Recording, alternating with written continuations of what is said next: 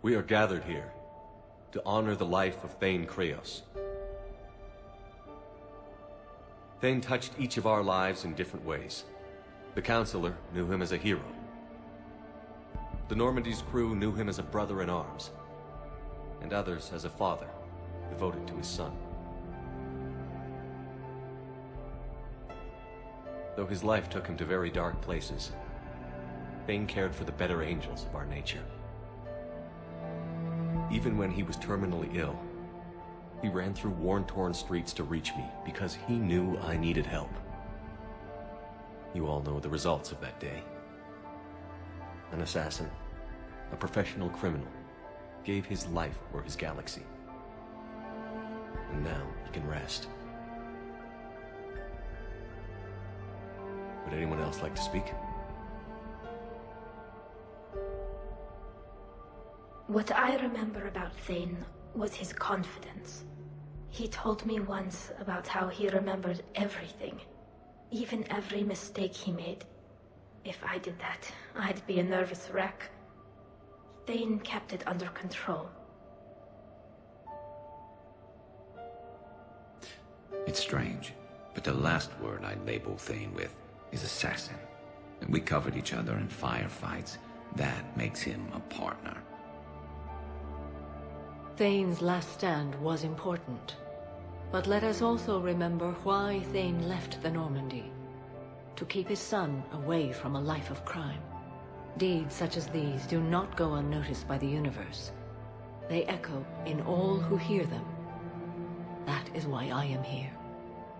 Thane took himself seriously, a trait with which I did not always agree. I tried to make him laugh on several occasions. But what I interpreted as a lack of humor was masking a great effort. Thane was turning his life around, in a way few organics do. The day Thane came onto the Normandy, all Kelly and I knew about him was that he could probably kill us all with a ballpoint pen. But after you got to know him, there wasn't any reason to be afraid. He let you know where you stood. Kolyat, do you, uh...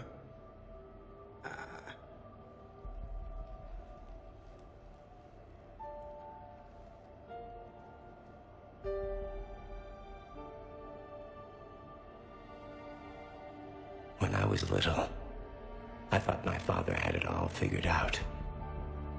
He said men must be loyal to their friends and dangerous to their enemies. But when he prevented me from, from hurting someone, he had changed. He said enemies and ego are not as important as loved ones. I didn't want to hear it. I was lost. I called him a hypocrite in a thousand different ways. Said that he was going soft. Now, I think maybe he did have it all figured out. That's all I can say. If anyone would like to continue, we'll be here. Looks like people are starting to clear out. Commander, thank you for holding this event. In time, it will be a good memory. I don't know if I'll be as philosophical about it. It's still kind of raw. I understand. If you will excuse me, I should take this opportunity to speak with the councilor.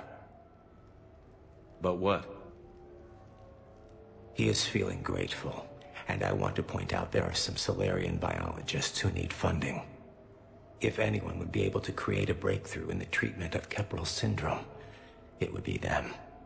If you need someone to hold the Councilor's feet to a fire, I'm there. I appreciate the offer, but Councilor Valern has recently orated about funding science during wartime. My odds are good. Oh, before I go, I was organizing my father's possessions, and I came upon copies of video messages he tried to send you. I sent them to your extranet address. I hope they help, more than they hurt. Until we meet again, Commander.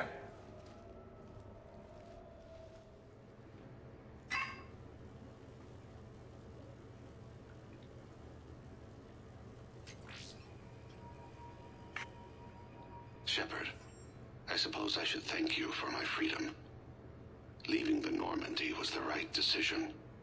It was saddening to see our crew go their separate ways, but it is better than answering questions in an Alliance interrogation room.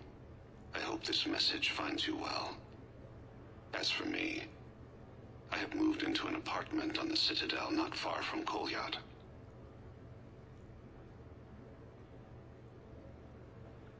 I think the first attack I had frightened him. I will spare you the details. It seemed very dramatic at the time. But in comparison to the Omega Relay, it was a child's game. In any case, good luck getting the Alliance to listen to you. Let's keep in touch.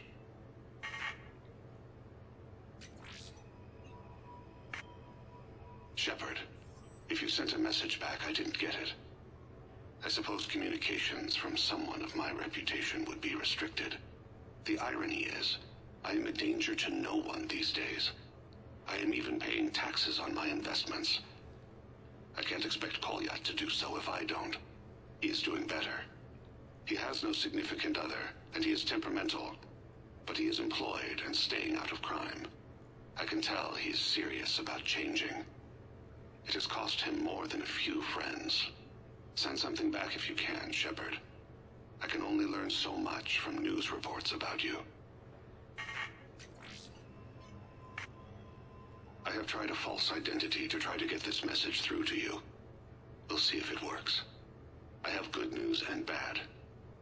The good news is that Kolyat and I took a few days to visit Earth. Light the shade of her eyes. Shrill sound of chirping stops.